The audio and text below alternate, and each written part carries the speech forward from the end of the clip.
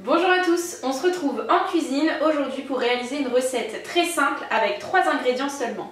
Je vous propose une recette de toast, pain d'épices, chèvre et chorizo, parfait pour l'apéritif. On commence par les ingrédients.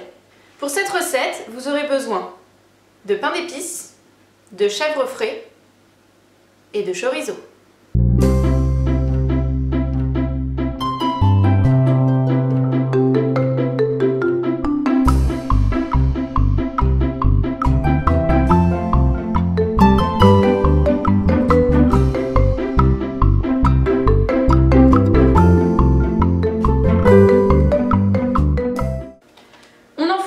180 degrés pendant 10 minutes. Et voilà, la recette de toast pain d'épices, chèvre et chorizo est terminée. Comme vous avez pu le voir, c'est vraiment très rapide à réaliser.